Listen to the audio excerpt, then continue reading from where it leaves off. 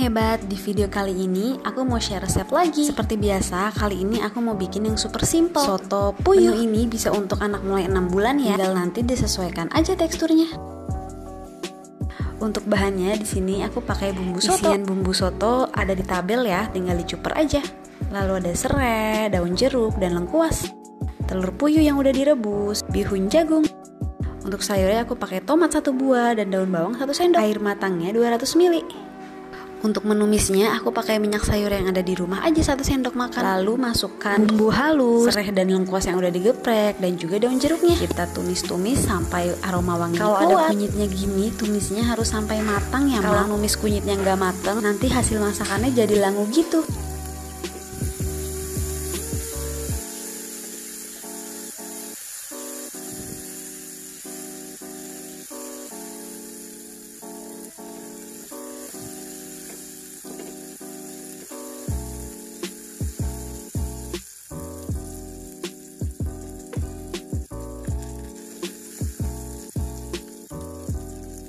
Setelah dirasa udah wangi dan matang, tinggal masukin air matang 200 ml. Untuk takaran air matangnya sebenarnya bebas. Kalau aku di sini sengaja bikin yang gak terlalu berkuah gitu. Karena anak-anakku kurang suka ngeliat makanan yang banjir air gitu. Disesuaikan aja ya dengan selera si kecil. Oh ya tadi mangkuk bekas bumbunya aku koretin lagi pakai air.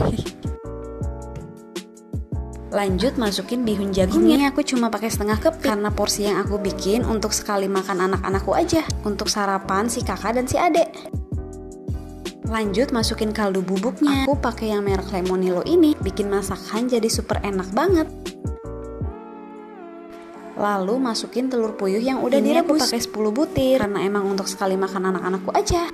Lalu masukin tomat dan daun bawangnya. Ini masaknya cepet loh karena kan telurnya udah mateng. Bihun jagung juga gampang mateng. Dan sengaja masukin sayurannya terakhiran aja. Asal mateng dan nanti biar warnanya masih cantik gitu. Ini nanti aku nggak pakein karbo lagi mah karena bihun juga salah satu sumber karbo. Kalau mama nggak mau pakai bihun bisa diganti pakai nasi. Atau kalau untuk anak mulai 6 bulan kalau masih makan bubur aduk di sini bisa langsung dimasukin nasi sebagai karbonya. Dimasak sampai matang lalu tinggal di blender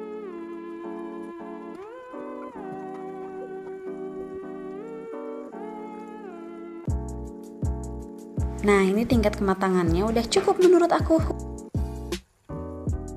Dan tara jadi deh soto puyuh. Ini sengaja banget airnya aku bikin nyemek-nyemek gitu. Karena anak-anakku emang sukanya kayak gini. Ini mau langsung aku sajiin untuk sarapannya kakak dan adek enak banget deh ini untuk menu sarapan. Langsung disajiin jadi masih hangat-hangat gimana? Gitu. karena ada jahenya juga jadi bisa bikin anget perut Nah ini punya adek yang usianya 10 bulan. Aku nggak tambah nasi lagi yang langsung disuapin aja kayak gini.